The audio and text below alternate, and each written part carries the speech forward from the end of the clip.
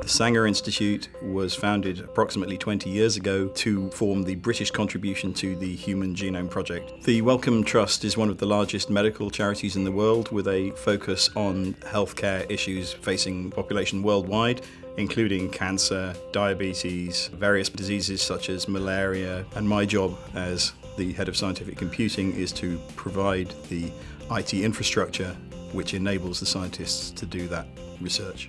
The idea common to all of our research programs is to identify the variation in the human genome that gives rise to a particular condition.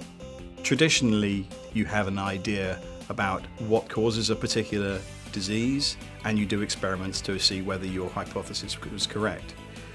Modern DNA sequencing has enabled a different approach, which is to say, I don't actually know what the causing variant is, so I'm just going to look at everything and see what comes out. That's the big data approach that's now become feasible as a result of advances in DNA sequencing and the IT to support it.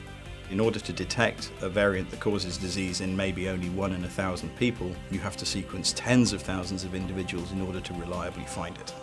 The Sanger Institute's sequencing facility now produces more data every hour than we did in our entire first 10 years of operation.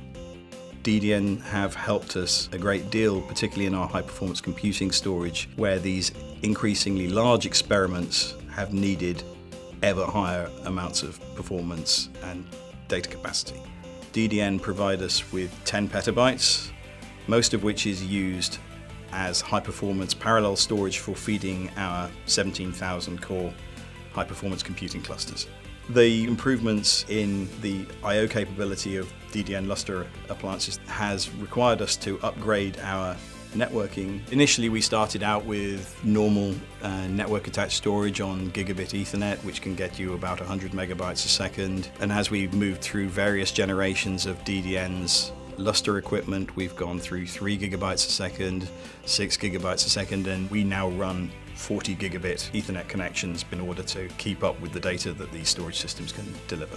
The large quantity of data that we produce has to be managed, and the system that we use for that is called iRODS. It's a key strategic technology, and DDN provides a large proportion of the storage that we actually put underneath it. These machines are running at the absolute limit of what, of what they can do. Support is critical in this space. We've had very good engagement with the technical people at DDN. They're very smart guys and they have always delivered on the promises that they've given. DDN's solution has helped us to deliver the throughput and scalability that we need to support the tens of thousands of DNA sequences that we generate. To deliver the Sanger Institute's world-leading research, we have to have world-leading IT to go with it. And DDN has been a significant contributor to delivering that.